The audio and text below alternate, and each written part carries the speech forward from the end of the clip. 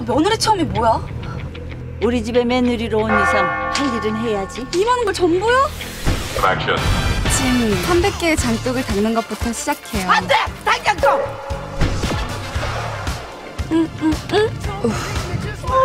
조울증 있어요? 피도 눈물도 없는 철면피.